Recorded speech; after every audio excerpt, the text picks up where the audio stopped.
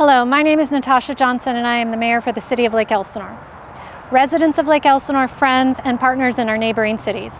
In 2019, the spectacular Walker Canyon Super Bloom attracted massive crowds to experience the natural beauty of the Lake Elsinore hillsides. Following this year's recent rain events, the poppies are beginning to bloom. However, officials say they will not be as spectacular as seen in 2019.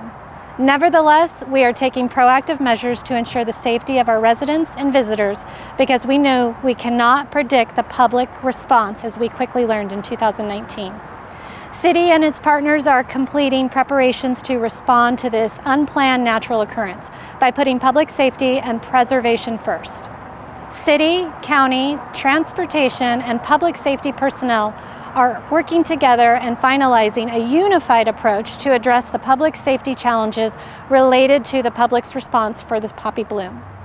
This includes increasing available resources and support, prioritizing residents' impact and quality of life, implementing additional traffic control measures, increasing enforcement, expanding public notice outreach, using shuttle services on the weekends if and when they are needed, these efforts aim to ensure the safety of those visiting Walker Canyon while reducing traffic impacts to our residents and their quality of life.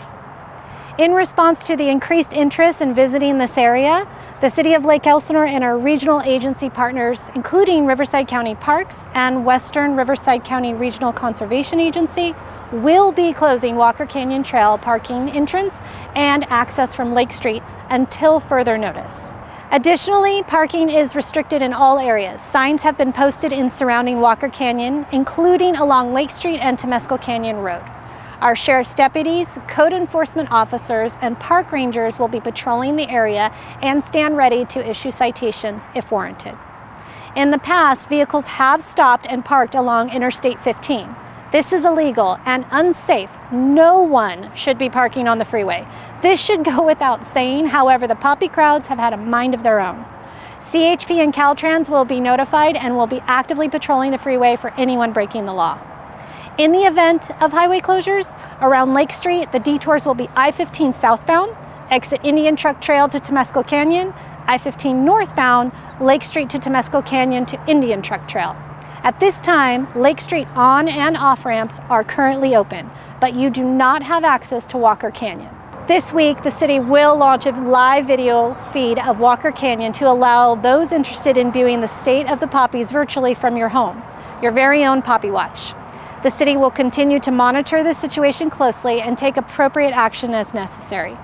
Stay tuned for more coordinated updates, which will be posted on all our social media platforms and the City of Lake Elsinore website, as well as our agency partner websites. We want to thank you for your support and understanding, and especially your poppy patience.